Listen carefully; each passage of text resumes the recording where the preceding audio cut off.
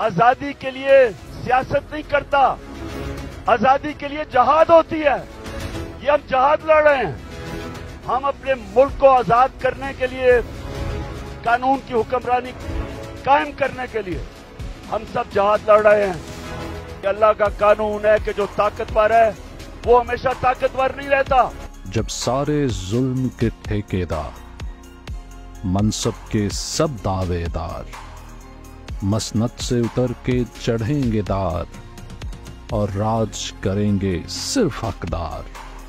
साजिश के सब किरदारों को सूली तक ले जाएँगे जो लोग ये वक्त बदल देंगे तारीख में लिखे जाएँगे।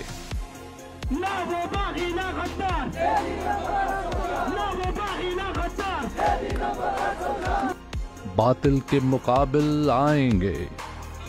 हक का अलम लहराएँगे जुल्मत की इमारत को होकर से गिराएँगे।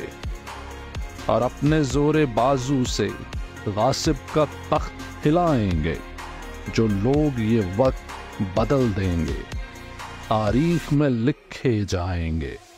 तो मैं अपने सारे कारकुनों का सब्र करें, मुश्किल वक्त है। मेरे लिए सबसे ज़्यादा मुश्किल वक्त है। लेकिन इमरान खान जब तक ज़िंदा खड़ा रहेगा। जो सब्र जब्त की मंजिल से हौसलों से टकराएँगे। कोई राह में उनकी आएगा तो सबको धूल चटाएँगे और अपने नज़रिए की खातिर ज़िंदा में डाले जाएँगे। जो लोग ये वक्त बदल देंगे, तारीख में लिखे जाएँगे।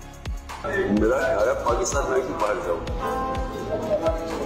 कोई अपना घर छोड़ के भी जाता पाए हम पाकिस्तान के रखवाले हैं। मट्टी पे फिदा हो जाएँगे। कोई आँच वतन पे ना आए।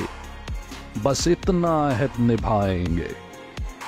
जिस पे ये धरती नाज करे, उसको आज़ाद कराएँगे। जो लोग ये वक्त बदल देंगे।